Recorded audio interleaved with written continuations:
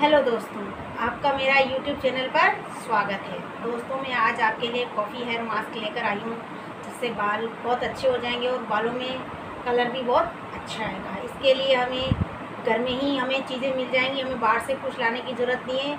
आइए दोस्तों, चलते हैं हमारी वीडियो की तरफ़। हमें मात्र तीन चीज़ें चाहिए।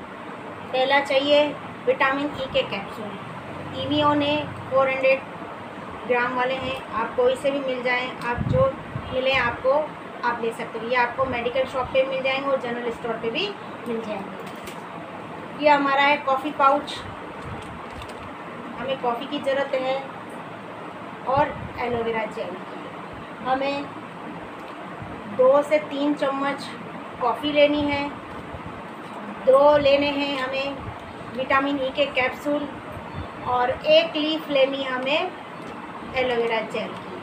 इन तीनों चीज़ों को मिक्स करना है बहुत अच्छी तरीके से जैसे एक लिक्विड पेस्ट सा बन जाए और हमें हमारी बालों की जड़ों में, जैसे इस तरीके से, ये पूरी बालों की जड़ों में हमें पूरा लगाना है।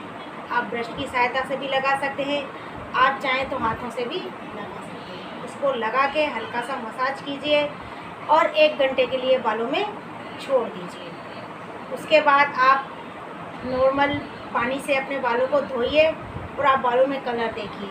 आपके क्या बाल शाइन करते हैं, क्योंकि विटामिन ई e से भी बाल मज़बूत होते हैं।